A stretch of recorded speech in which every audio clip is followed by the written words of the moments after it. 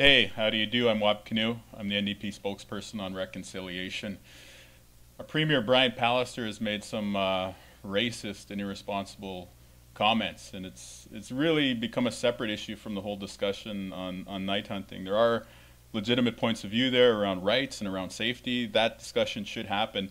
But now we have a premier who is repeatedly making racist comments about Indigenous peoples in Manitoba, and that's not acceptable. He has to apologize, and he should really undertake the sort of training that the Truth and Reconciliation Commission of Canada recommended for all Canadians on Indigenous issues and anti racism.